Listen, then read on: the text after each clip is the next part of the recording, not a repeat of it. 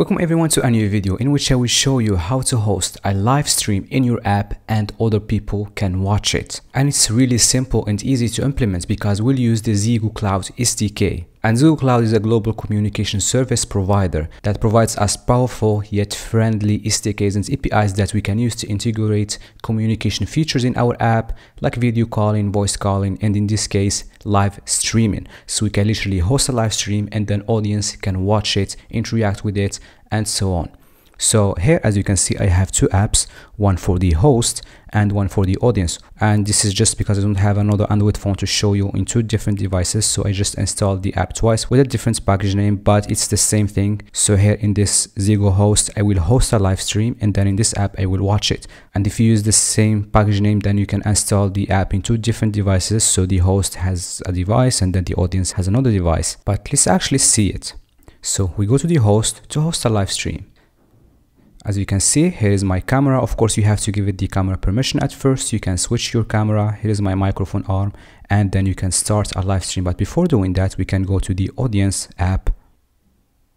As you can see, there is no live stream being hosted right now. So we can try doing that right here, and then we start a live stream.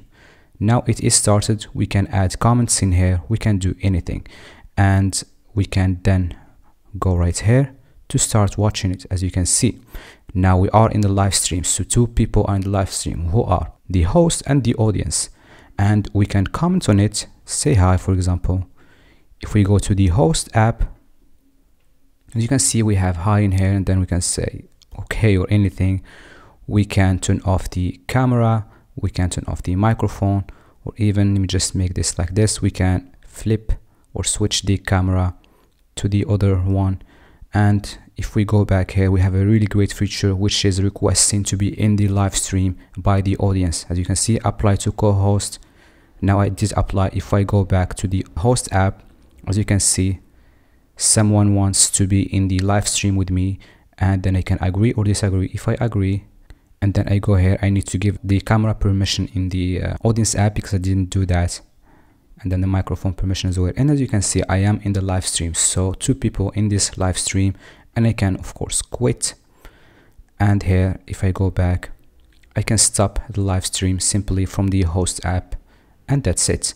So it's completely working with all the functionalities you need and this is great if you want to have a social networking app in which you want to have a live streaming feature. And here is ZEGOCLOUD website which provides us with the SDK that we'll be using. And if we go down here we see that a lot of apps with millions of users are already using this SDK exactly and we have a lot of things like video calling voice calling live streaming which is what we want. Now the first thing you want to do is to actually create an account.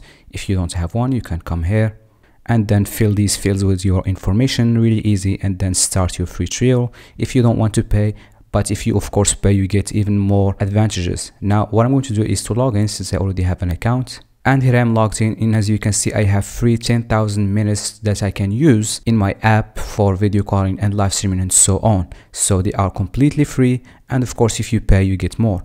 But what I'm going to do here is to create a project. That's what we need first. So let's go here and we can choose anything that we want from video calling to in-app chat and so on. What we want here is to use live streaming. And then click next and we can see that we get two different SDKs that we can use which are the UI kits and SDKs and with UI kits we can integrate this feature with very few lines of code and use the pre-built UI in this kit. Now if we want some more low-level SDK in which we can build our own UI and control everything then we can use this one. If you want to go for low-level development you can choose this one. If not choose UI kits. Now that's what I'm going to do and then let's just say here in the app name YouTube live for example starts with UI kit and it will create an account for you. And while we are waiting for it i want to that if you want to become an industry level developer and build large scale apps from the ground up with Ktor backends then check my premium course in the description. That will make you exactly do that by using all the skills that you want to get a job or to be a freelancer like dependency injection clean architecture jetpack compose and so on. You can find the link in the description if you are interested now the project is created. Let's start building. We want to choose android for our case. And here we can turn on or off this face beautification. Let's say we don't want that and then we start integrate. Now what we get in here is an app id and an app sign. You don't want to show these to anyone. They are a secret. And these are what we need to actually host and watch our live streams. We can go to the admin console and let's go to our app. And if you want to activate more features in your app like video calling and in app chat and so on you can just come here and then activate them. Let's just say with live streaming in this case and let's go to the documentation. I will leave you this website's link in the uh, description and i will also leave you the documentation link in the description. We want to come here to start building. We first of all need to add these two in our settings.gradle file. Of course these are not in kotlin so i will just show you how to add them in kotlin because our gradle is in kotlin. So you want to come here and paste these two lines which are exactly these lines but in Kotlin. And then let's scroll down where we want to add this dependency to our Gradle file. So let's go here and then we want to add it since we use uh, version catalogs we want to add it in our libs.versions. And we can of course also update our Kotlin version and our compose build of materials. So here is the dependency. For the version it's going to be just this even if it says plus but it's actually just working fine. And then we want to go to our build.gradle to have that dependency in our dependencies. Implementation and here it is actually. One more thing we need is the json library for this to be working even though it's not in the documentation but it's needed. So let me just show you how to add it like this and then paste it here. We need the version and here is the version so we need this JSON library as well, which is what we need to add in our Gradle file. Like this. And then sync your project. So these are the only two libraries that we need. And then let's go to start building. But before doing that, since actually the UI kits starts a new fragment for the live streaming, we need a little bit of a different theme for that fragment. And this is because we are using the UI kits. If you are using the low level SDK, then definitely you don't need all of this. You can integrate your own UI. And for this, this is the theme that we need. Day night, no action bar theme. Now we want to add the internet permission in our manifest since definitely we use internet for this. And then we want to start building. So let's go to our main activity. And as I said, since this launches a new fragment, we want to switch the component activity to a fragment activity. And don't worry because fragment activity eventually implements component activity. So that's the exact same thing. Now the first thing I want to do is actually remove this greeting composable and also remove it from here and let's go here to add some fields that we need first of all we need a user id so var user id that is going to be a string. So let's start with the host. And of course in your case if you want live streaming then you definitely have some sort of a backend like firebase or so. Then the user id will be your firebase user id something like that. So we need the user id and then we need the username. So let's say also host for that. Actually username right here. And then we want to tell whether this is hosting the live stream or not. So let's say is host and then in this case let's say true since we are hosting the live stream. And then one last thing we need is the live id so live id let's say one two three. And as i said all of these needs to be controlled in your backend to actually have these values. Now i'm just hard coding them because i don't have any backend and now what we need to get this live stream working is an app id so val app id and that is going to be a long so i'm going to add it later. So 1l to just not have an error and then we need an app sign. This is going to be a string. And to get this you want to go to ZEGOCLOUD again. So right here and here they are. I said don't show these to anyone. Let me just copy it paste the app sign and then the app ID here it is. Add an L because it's supposed to be a long and now if we go to the documentation again we can find that we have the code to do this. But since we are using jetpack compose i'm just going to show you how to actually start a fragment in jetpack compose. So here in our scaffold we want to have a configuration or config so var config that is going to be if is host because if this is hosting then we want to do something. If not then we want to do a different thing. We want to use Zego UI kits pre-built and then we want to go for the config here dot host and then say true since we are trying to host.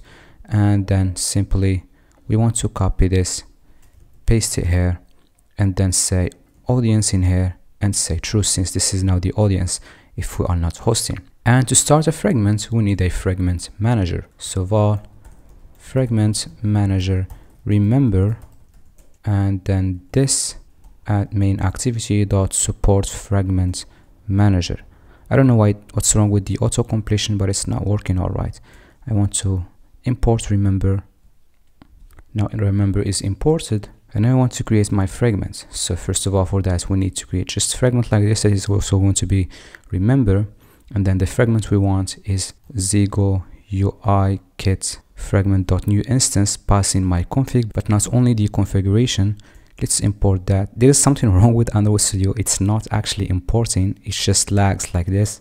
Okay so it can't even find it. Okay here it is. And Android Studio definitely has an issue. However we need the config but before that we need the app ID and then we need the app sign.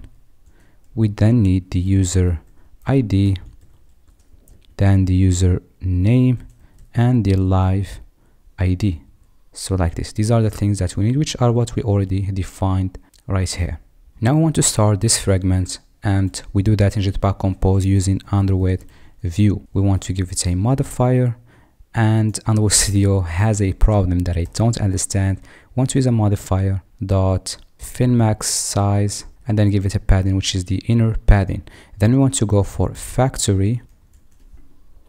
We want a frame layout passing it which is in this case the context. So right here we get the context to start our frame layout in which we will have our uh, fragments. So apply. We say the id is going to be view dot generative view id and then the layout params is going to be view group dot layout params for the width and height it's going to be match parent like this and now in the update block in which we want to actually have our fragment inside this frame layout that we just created in here. So update like this. We want to have our fragment manager dot begin transaction and then instead of apply we want to use replace it dot id which is the view that we have in here and then we want to have a fragment and then dot commit. And this fragment of course is our fragment. And actually that's it. And since I want to have this app twice in my phone I want to use a different package name and different name for every one of them. So for this first package name we can also increase the uh, target SDK and compile SDK I'm going to have the host in this first one so let's go to strings and then just name it host so that I can differentiate between them. And then I can run this app on my Google Pixel 7 so run that and let's have a look at it. Let's bring the emulator or the device here. And here we want to choose of course the Pixel 7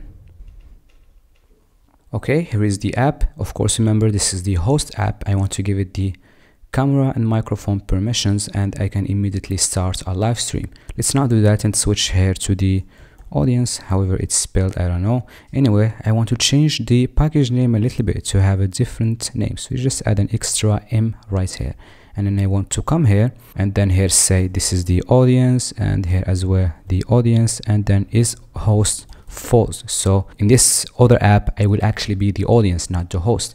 And I want to run it again but of course it will be a different app right now as you can see here it is it says no host is online. I want to go to the other app which is the host app and then start live streaming just like this. And I immediately already started watching as you can see here. And if we check here the host and the audience are in this live stream. I can comment with something for example like hi and then we should find that. And it's just working alright with no problems. I can turn off the camera if I don't want to. And if I go back to the other uh, device as you can see the camera is also gone. So it's completely working just fine. And all of that using the powerful ZEGOCLOUD SDK to integrate this live streaming feature with very few lines of code with a lot of simplicity to integrate such a complex thing with very simple code And if you want to support me to make more videos like this, don't forget to subscribe and leave a like in this video and share it with your friends. Tell them that they can implement live streaming in a very simple way. And if you want to become ready for the Android industry and get your dream job, then check my premium course in the description that will teach you how to become a great developer by building an industry level app from the ground up with its own Ktor backend. Now see you in the next video. Bye.